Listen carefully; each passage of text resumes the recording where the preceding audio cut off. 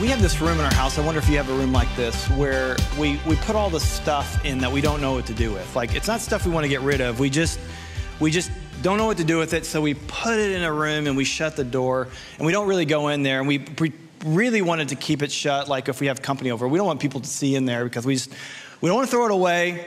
We just kind of shove it in that room and and uh, leave it there. And I think that's how a lot of Christians think thinks about some topics, think about some topics in the Bible, especially the topic of hell. You know, we'd rather just put the topic of hell, like, you know, in a room somewhere and, and keep it shut because, you know, keep it hidden in a room somewhere. You know, it's like the skeleton in God's closet. You know, like he's a really good guy, you know, once you get to know him. He's kind of got this evil, you know, vengeful streak on him. Like he gets get angry every once in a while. So we just kind of keep that away. And it's kind of this skeleton in his closet. And this became a, um, known to me, a reality for me, I guess maybe uh, is 24 years ago when, when Jesus came into my life and kind of in, uh, turned my life upside down or maybe, maybe downside up. And, and um, I, I, remember like going and, you know, hell wasn't a barrier for me, but I remember going and talking to a friend about Jesus and they're like, oh, you think I'm going to go to hell? I'm like, whoa, whoa, whoa, I didn't say anything about hell. Like, what do you, what's going on here? And, uh, and what I found in these past years is like this is this is a subject uh, that that's sensitive for people, and this is one of the questions that a lot of uh, people who may be exploring Christianity or new Christians they wonder like, hey, what how what is, what is God up to? And so in the next few weeks, we're doing a series called Reply All, where we're just answering some of these questions that new Christians or people exploring Christianity may have. And, this is a big one. And, and I want to help. I want to help if this is you, like you have this question, or maybe this isn't a barrier for you, but you, you definitely know people where this is a question. So I want to help you, not necessarily by answering all your questions. Because that's not going to happen. This is a big topic. This is not a comprehensive talk on hell. In fact, I, I guarantee you at the end of this talk, you'll probably say something like, Well, what about, or what about the, and, and you're not all your questions will get answered, but here's my hope and here's my goal, which is kind of audacious, I think, uh, is that I want to give you confidence. I want to give you solid reasons why hell is not simply uh, is not simply a paradox of His goodness, but it's a manifestation of His goodness. It's not a paradox of His goodness; it is the manifestation of His goodness. And I'm looking at you, and you don't believe me, but we'll, we'll see what happens at the end. One of the big issues that we face in understanding the topic of hell is that we have this caricature of hell. Like we have this caricature of the biblical story, and, and that's what we really need to do. We need to get, a, uh, get our mind upon. Um, my wife is smiling because we talked about the pronunciation of the pronunciation of this word before this, and so she's. Did I get it right? Oh, I did. Very good. Um, we, we don't really understand the full biblical story. And so here's the big, this is what most people think. You know, you're, you're, you're walking on earth and, and if you're good, you know, one day God's going to beam you up into the sky, into the clouds. And, and if you're bad, you know, there'll be this big trap door that will, you know, open up and you'll fall into the flames of hell. And that's basically like people believe that. And this is problematic on several different um, levels. And, and part of it is, is that we only experience earth now. Like we don't experience any heaven or hell now. Because the Bible talks about it differently. Or the other or the other issue is that we don't experience earth in the future. And so heaven and hell are like these two counterparts, right? They're like vying for our eternal destiny. You know, who's going to win? You've got the opposite end over here. You know, you got the positive side of the battery over here. You got the negative side of the battery over here. Like they're these two co-equal parts. But this is not how the Bible talks about heaven and hell. In fact, if you were to do a search on Bible Gateway, which is just a you know, Bible app, Bible website, if you were to type in the words heaven and hell, and you were to find, okay, how, how many verses are in the Bible that have both heaven and hell? You might be surprised to find out that there are zero verses in the Bible about heaven and hell together. Now, there's a lot of verses in the Bible about heaven, there's a lot of verses in the Bible about hell, but the Bible does not pair them together.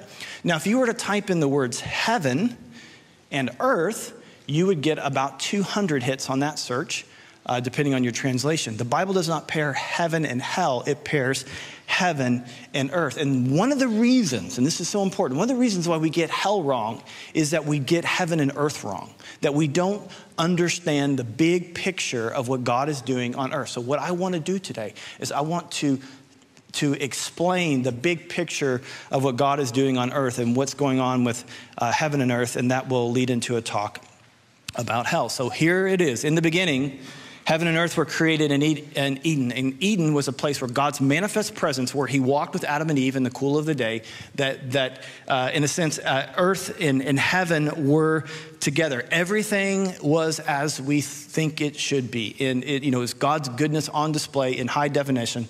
But we brought sin into the world. Now, sin is just defined as going our own way, not trusting God, believing the lie of the enemy uh, that said, you know, said to Adam and Eve, like, hey, don't trust God. He's hiding something behind his back. He doesn't want your good, but I do, so come follow me. And so sin is not trusting God, it's going our own way. This rebellion tore heaven and earth apart, separated uh, heaven and earth. And so, even God putting angels in front of Eden, separating the two.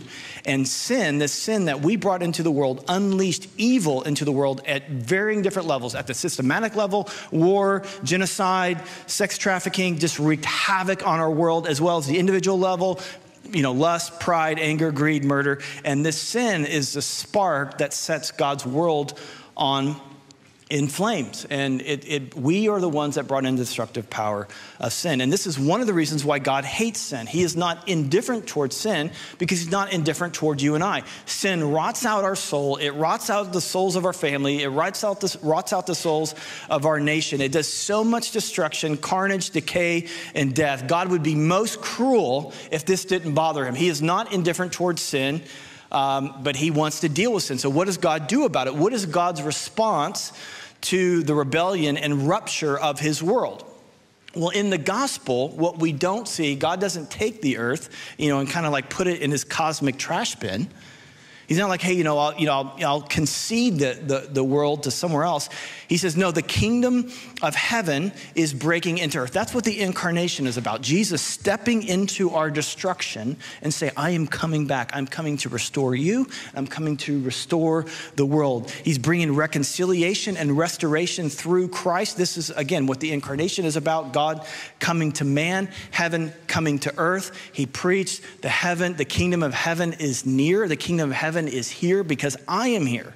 And this is what his plan is up to. In the end, heaven and earth are destined for reconciliation.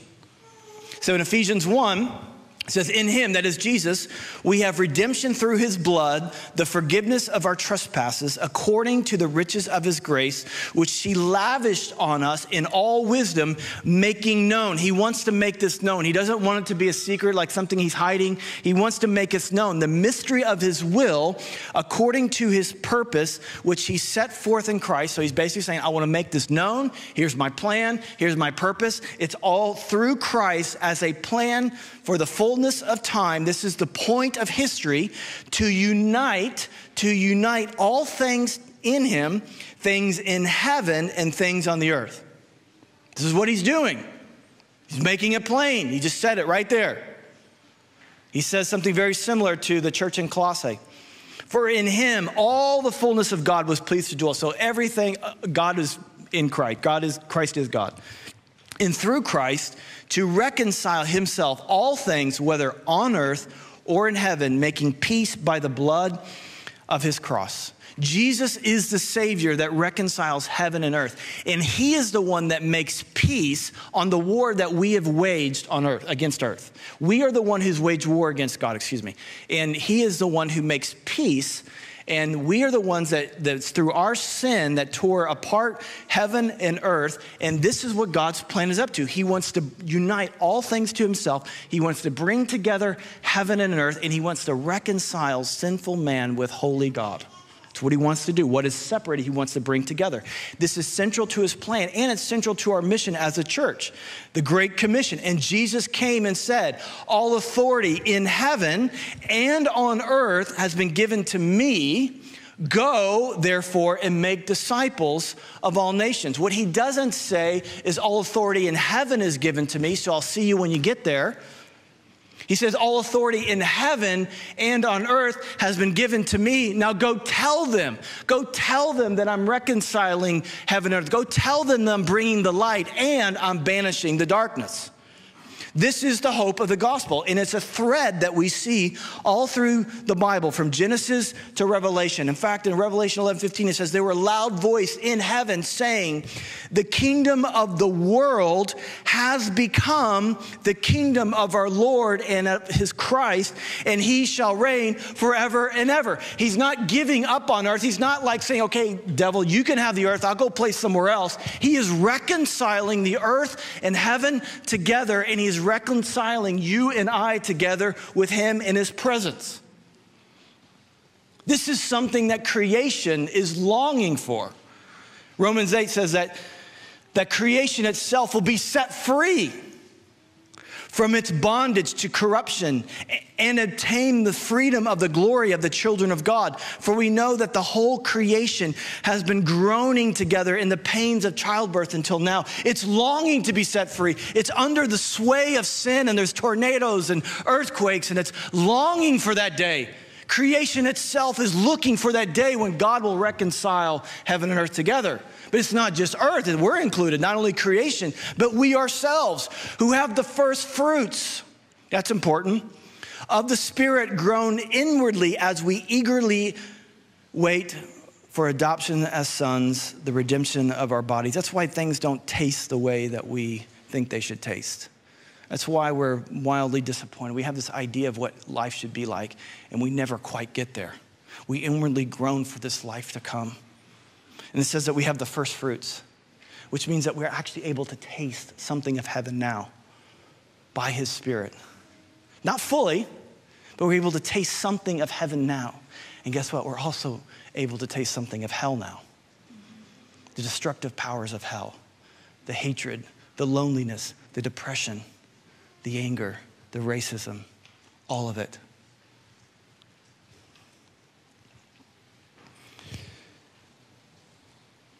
God's hope is that we would be redeemed and creation would be redeemed. Prophets speak about this all the time. So, like Isaiah says, that he'll make a desert into a valley of roses. He'll make sweet wine from the, from the mountains. The lion and the lamb will, will lay down together in a renewed world where heaven and earth are reconciled. The African theologian Augustine said this in the fourth century, I believe. This, he wrote a book called The City of God, comparing it to the city of, of man in, uh, in Rome. And he's looking out at the Mediterranean Sea and he says, in, If this is the beauty afforded to sinful men, what does God have in store for those who he's redeemed? We see that in Revelation 21, I've hinted at this already. And he says uh, this, John has this revelation of this, of this, of what's happening at the end of time. He says, And I saw a holy city, a new Jerusalem coming down from heaven from God, prepared as a bride, adorned for her husband. And I heard a loud voice from heaven, um, from the throne saying, Behold, the dwelling place of God is with man. He will dwell with them, and they will be his people. And God himself be with them as their God. A few important observations. Notice the direction. This isn't God taking us to heaven, this is God bringing heaven to us. The city is coming down. You know, it's not like, hey, get me out of here, beam me up, Scotty. Like he's, he's coming to us. The other thing I want you to notice is, is, the, is the marriage imagery. What, what, do mar- what do weddings celebrate? They celebrate union, they celebrate two people becoming one. He's like, this is heaven and earth are coming together. Uh, uh, my people and, and me are coming together. They will be my people, and God Himself will be their God. This wedding between heaven and earth, two being united, becoming one forever. So when you with this storyline in place for what God is doing, wants to do with heaven and earth, and how the how the separation started, and how God is going to bring back wholeness and oneness, the implicit logic of hell begins to make sense. And it's no longer a contradiction of God's goodness, but I think you'll see here in a minute the manifestation, manifestation of God's goodness. Because to long for the dawning of the light is to long for the banishment of darkness. To long for the healing of the body is to hope for the removal of the disease. To pray with Jesus, may your kingdom come on earth as it is in heaven, is to by nature pray for the banishment of all rebellion and evil. You know, there's going to be a day where God, He's creating a world where He's not going to let anything make you cry. He's not going to let anything make you sad. He's not going to let anything cause you to be depressed or lonely, or hated. He's making a new world, and He wants you to be a part of it. God is on a mission to get the hell out of earth. Not, God is on a mission to get hell out of earth.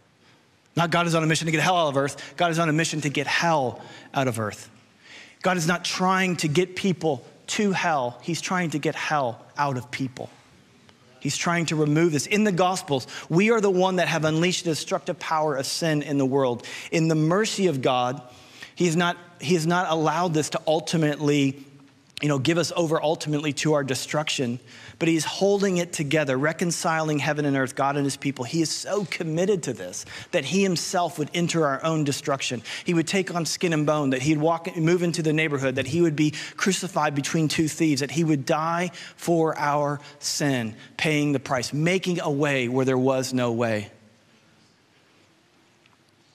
So the question is, so the question is, is when God kicks out evil, where does it go? Does it go it's like under the ground? Do we, is hell somewhere under the ground? Well, in the, in the New Testament, the location of hell is not under the earth, it's outside the city.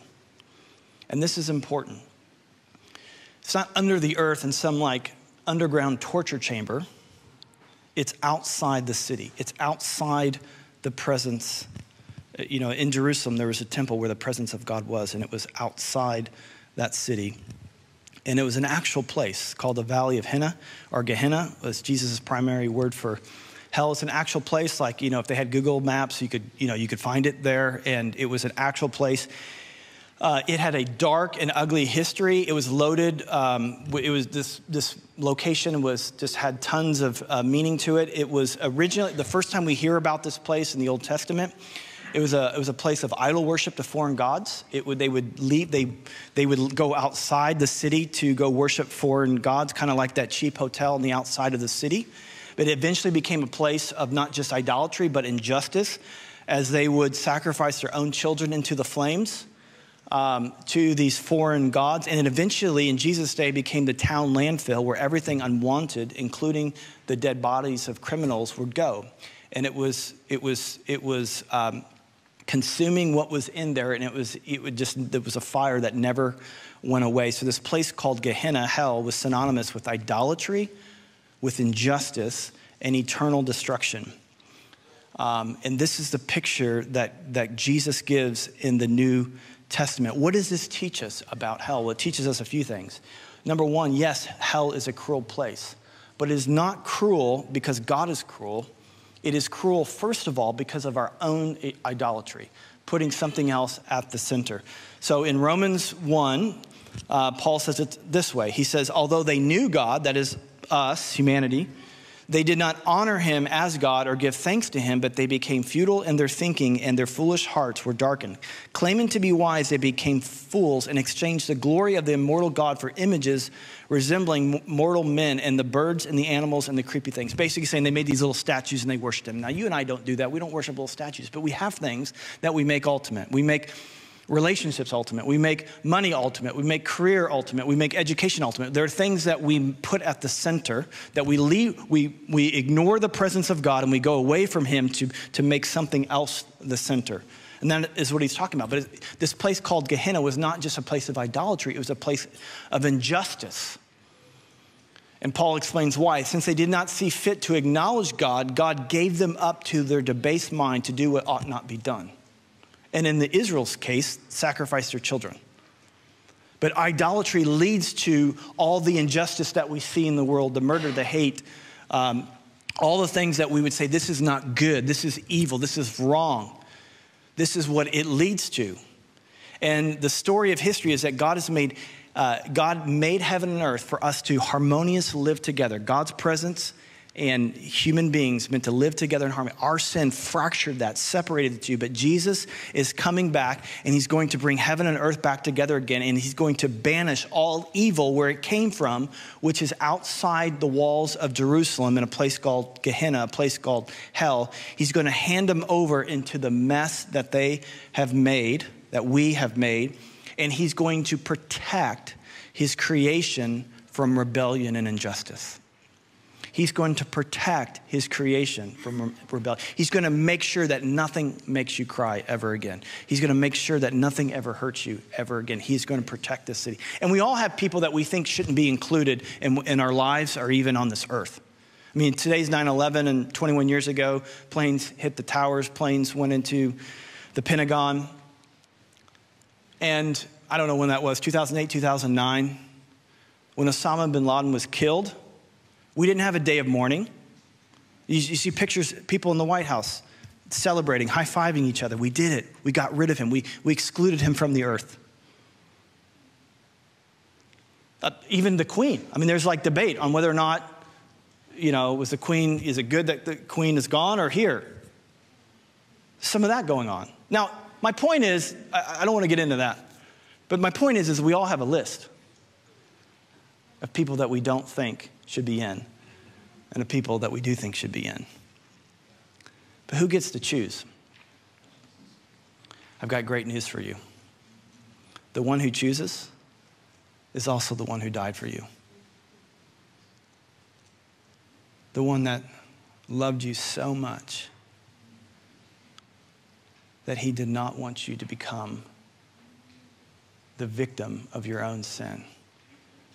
But he stood in the gap and he went to the cross for you. He's going to protect you.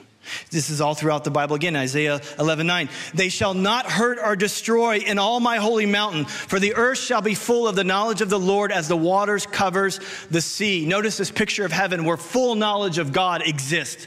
Right now we know in part, we see in part, then we'll fully know, and it will be a place where he will not let sin hurt or destroy you ever again. Zechariah 2, 4, Jerusalem shall be inhabited as villages without walls because of the multitude and livestock in it. This place where he wants multitudes in. He wants lots and lots of people. In fact, he's like, man, you got to kick the walls down to make room for more people, which today we're like, man, that's so awesome. To ancient people, like, God, what are you doing? Those walls protected us from invasion, from attack, from our enemy. God's like, I got you. He says, I will be to her a wall of fire all around, declares the Lord, and I will be the glory in her midst. God protects his city and his people with his presence. His presence inside the city is majestic glory. His presence outside the city is protective fire. He reconciles the heaven and earth. He's creating this place, no tears, no death, no war, and he protects it from unrepentant sin and evil and rebellion. God is not evil, for protecting his city. He is good. Paul says it this way to the Thessalonians. He says in uh, his second letter, chapter 1, verse 9, they will suffer punishment of eternal destruction away from the presence of the Lord. Away from the presence of the Lord. If hell means anything, it means awayness, it means outside, it means away from his presence. The invitation, though, and this is, this is where I want to land the invitation of Scripture is that the gates to this new city, the gates of heaven, have been kicked wide open. And the question for all of us is will we enter this? Heaven is not full of people who have done, have done good, and hell is full of people who've done bad.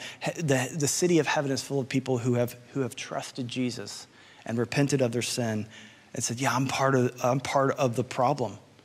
Uh, Jesus does judge our sin, but he also died for our sin. His wrath is warranted, but his wrath is also absorbed in Jesus. Like he took that for us. And, um, and the Bible word for us is that we need to repent, that we need to change our direction. We need to go in a different way. The hell was not created for us, hell was created for the devil and his angels. Um, there's a movie in the late 80s. I don't know if you've seen it uh, Planes, Trains, and Automobiles. Have you seen that movie? Anybody? No one? Okay. Um, I don't really, I, I, don't remember all of it, so I'm not recommending it. But I do remember this one scene. That, the, the big idea is that there's this unlikely pair, Steve Martin and John Candy, unlikely pair.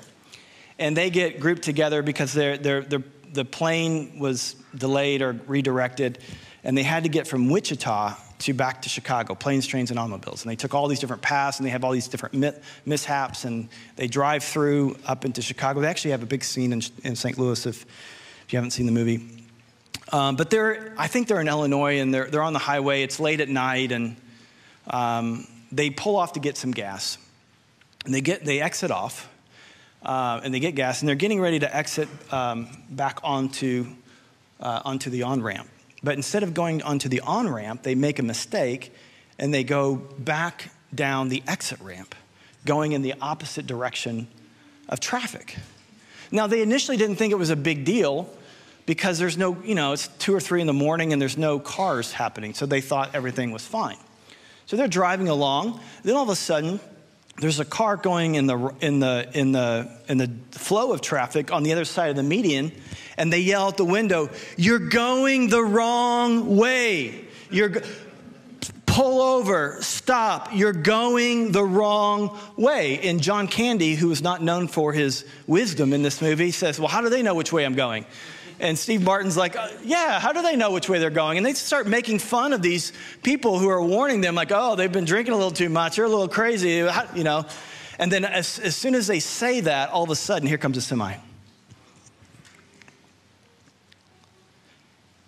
Ephesians 2 says this And you were dead in your trespasses and sins, in which you once walked, following the course of this world. You're going the wrong way. Jesus talks about hell more than anyone in the New Testament. He's warning, you're going the wrong way. Well, how do you know which way I'm going? How do you know what I want for my life?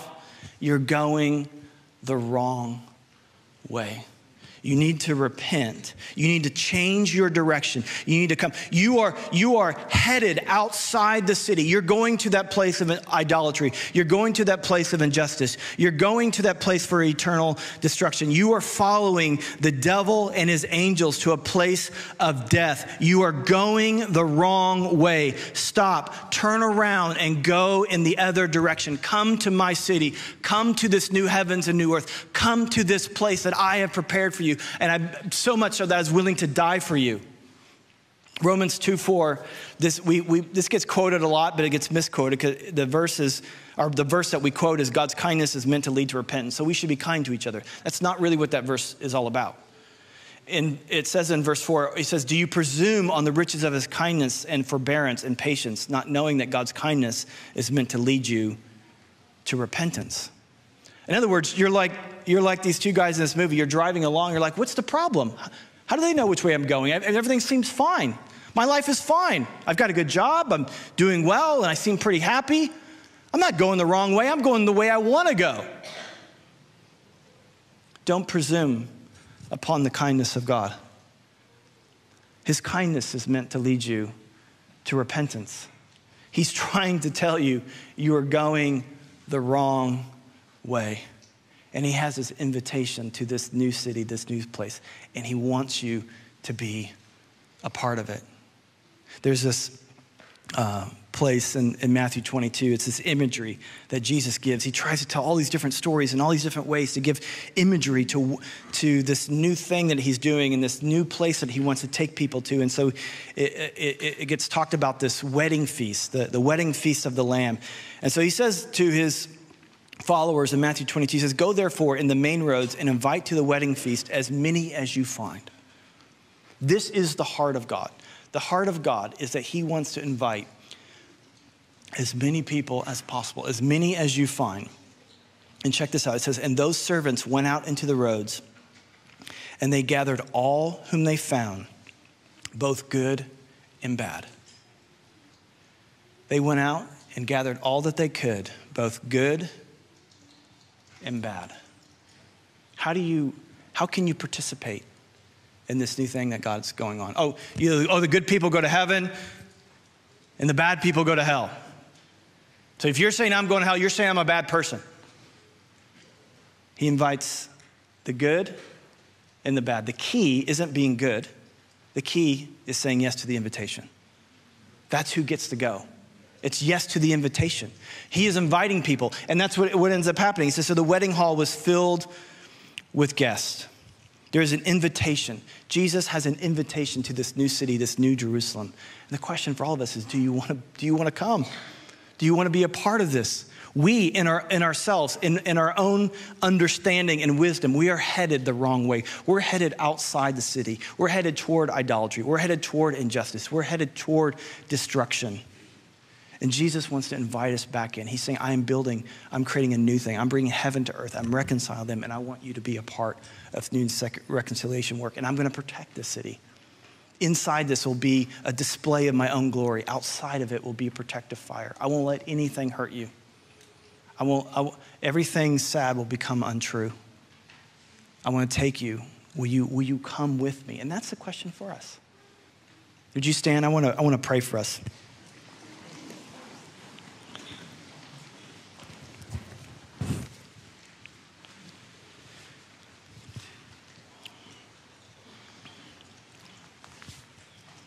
Jesus, I'm so amazed at your grace.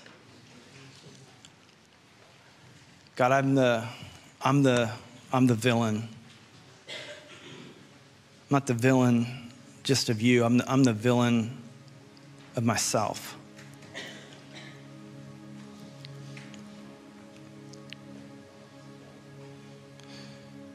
I was following the ways of this world, son, son of disobedience, following the devil, the world, my own flesh.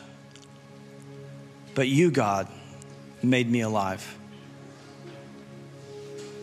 God, I pray that the eyes of our hearts would be enlightened to your goodness and grace, that you long to, to rescue people. You long to rescue people. You long to rescue people from their hell, from their sin.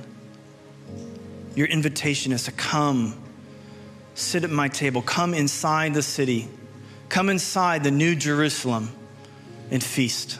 It's prepared. Everything's been taken care of.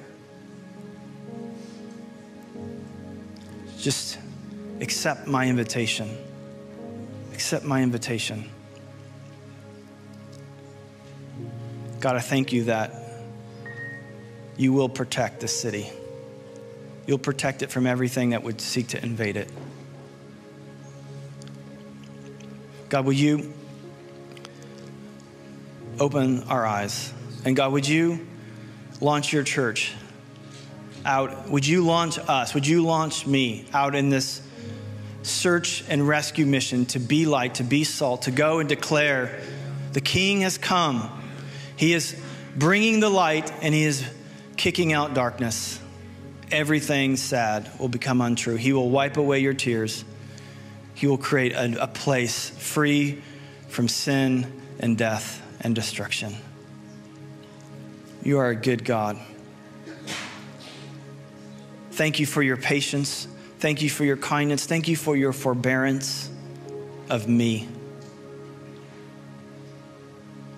God, we don't want to presume upon that kindness, God, but we want it to fuel repentance and pursuit of you. I pray this in your name.